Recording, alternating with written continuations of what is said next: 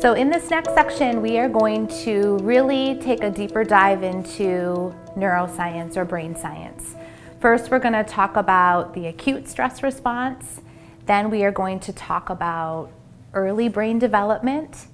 And then we are going to move into trauma's impact on the brain. And we are going to try to connect that to the various types of trauma that we've learned about type 1, type 2, and type 3.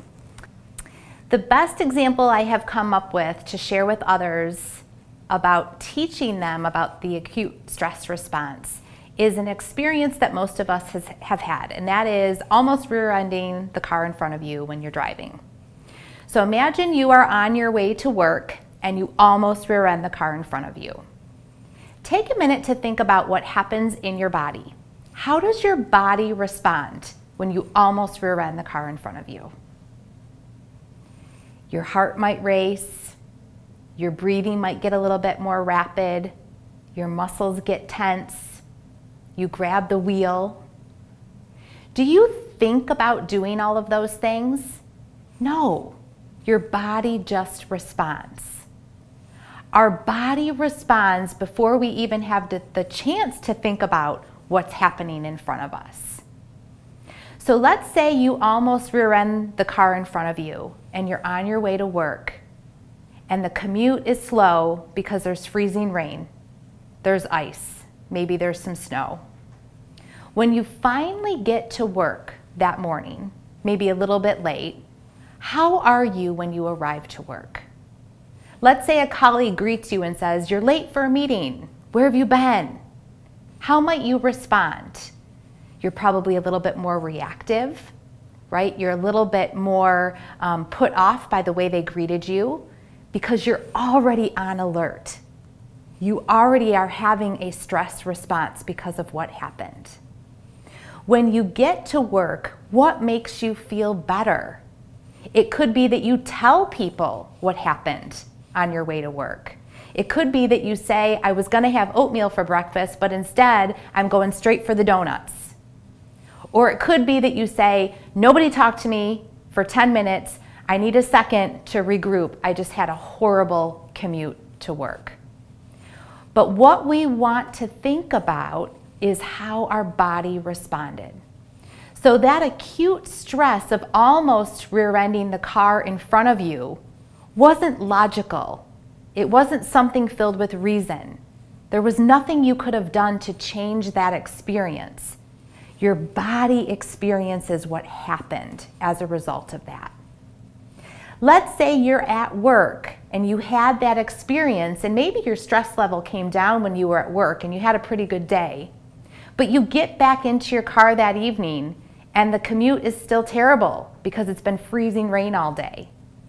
What does your body do when you get into the car, knowing how your drive to work was? Your body remembers the experience and you will be more hypervigilant, more on alert based upon your experience that morning.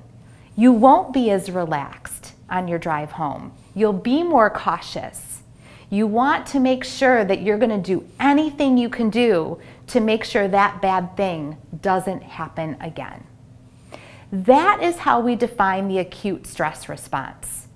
The acute stress response happens when we have something happen that we have no control over, right? We fear for our life, our safety, our survival, our car, our insurance rates telling whoever we live with or who owns the car what almost happened if you're a student, right?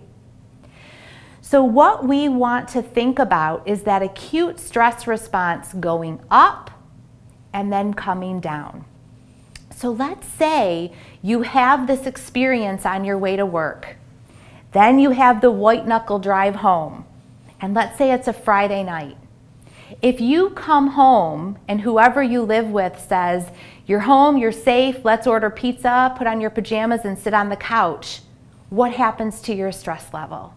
It comes down. If you walk in the door and your child says, I'm late for soccer practice and I left my cleats in my locker and I haven't eaten, right? And we also have to pick up three other kids, what then happens to your stress response?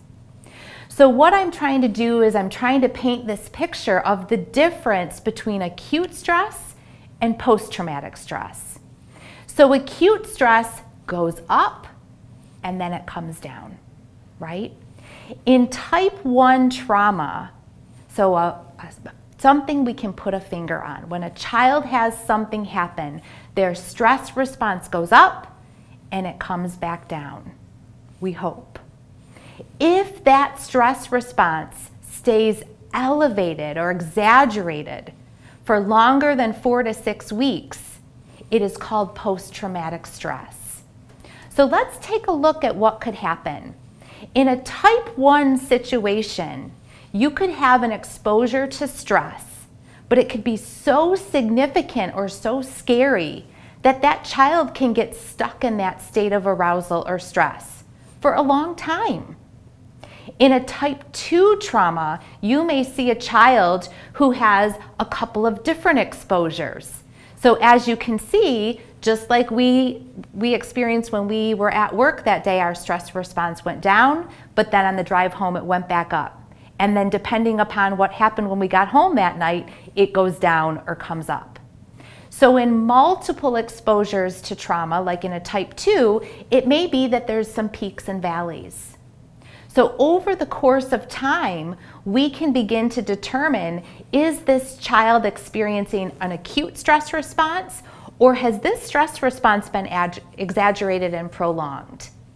Now, what I want to talk a lot about today is, is the experience of toxic stress or type 3 trauma.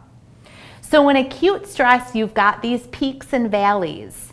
Now in toxic stress, it's always stressful right? Remember we talked about there's always something that happened. If you asked a child with toxic stress or type 3 trauma what has happened, they would not be able to tell you what. It is their life. So imagine how your body feels when you're almost rear-ending the car in front of you, or when you get back into that car and it's freezing rain, or you get home and it's not a Friday night that you can relax, how your stress response is.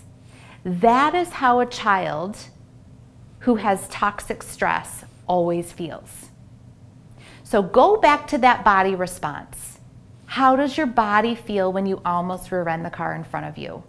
Heart rate up, muscles tense, rapid breathing. Can you think clearly? Right? If somebody asked you to solve a math problem after you almost rear-ended the car in front of you, would you be able to solve that problem? How did you respond to that colleague when they said, you're late for the meeting, or where have you been? You were defensive, you were reactive, because your stress level was already up. So in trauma, what the experts tell us is that we know the difference between acute stress and, and post-traumatic stress by time period. Acute stress is supposed to be very short term. It's supposed to be up and then it's supposed to come down. We are all supposed to respond like that. It's a survival response. But that response is not meant to be exaggerated or prolonged for any length of time. When that response is exaggerated and prolonged, it causes an impact on the brain that we're going to talk about as we move forward in the content to come.